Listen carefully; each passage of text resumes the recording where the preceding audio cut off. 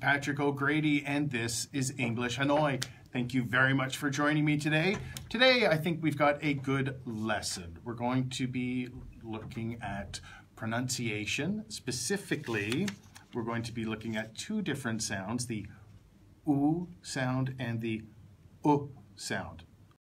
Okay, so uh, those, those are the two things we'll be looking at. Um, let me take a minute to introduce myself, please. Uh, my name is Patrick O'Grady, and I've been teaching English for a long time. I taught in Korea for three years. I taught in Saudi Arabia for five years. And I've been teaching here in Vietnam for the past 10 years. Uh, about 10 years ago, my wife and I, we started up this company called English Hanoi, and uh, here we are. We're trying to help Vietnamese speak better English so they can get a better job and have a great future. So that's me. Uh, let's get started with the lesson, shall we?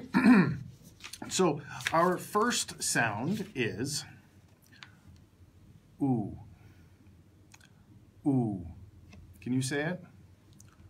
Ooh, as in room. Ooh, good. And our second sound is uh. Uh. Can you say it? Uh, as in book. All right. Um, for both these sounds, we're kind of making a little round of uh, our lips are going to be rounded a little bit. Uh, let's go through the sounds with some words and um, let's go through them. Um, actually, before I go on, I should make it clear. Uh, the, the problem with this pronunciation drill is that um, often we see both of these vowels spelled with O-O, and the pronunciation is a little different. So with, with this, so let's let's just go through this and uh, we'll um, and, and I'll, I'll, show you some examples of this, and we'll, we'll, we'll try to fix your mistakes. So, oo, room, room, oo, room, uh, uh, book, book. Can you say it? Room, book tooth, tooth, okay? Put, put. All right, let's keep going. Food, food, foot, foot. You say it, yeah? Mood, mood hood, hood, rude, rude, could, could. Great. One more. Would, would. All right.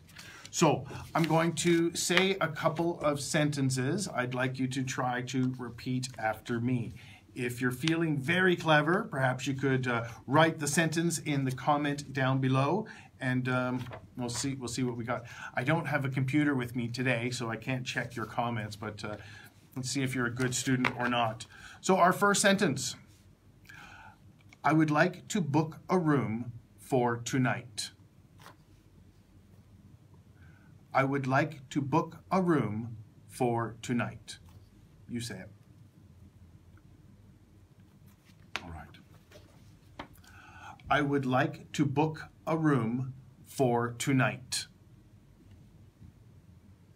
Would book room. Great. So that's our first sentence. Uh, let's try sentence number two. I'm going to say a sentence. Please repeat after me. I'm in the mood for some food. I'm in the mood for some food. Right, let's try it. I'm in the mood for some food. I'm in the mood for some food. And our last sentence for today. I'm going to say it. I want you to repeat after me. I really put my foot in my mouth. I really put my foot in my mouth.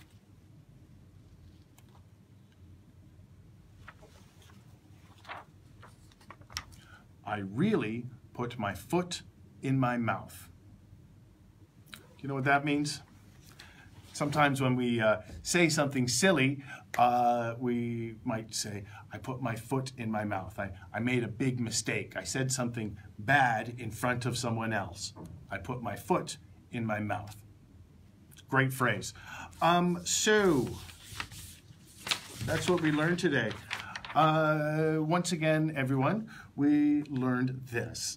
The two sounds here, oo for room and u as in book.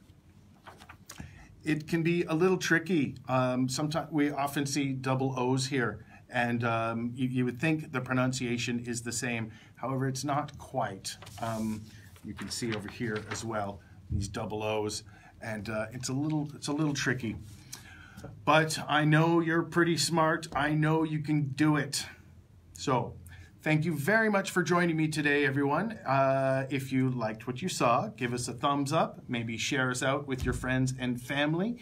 If you're on YouTube, uh, give us a, what do we do on YouTube? well, give us a comment on YouTube and uh, share it out over there as well. Uh, thank you very much for joining me, everyone, and uh, have a great day. Bye-bye.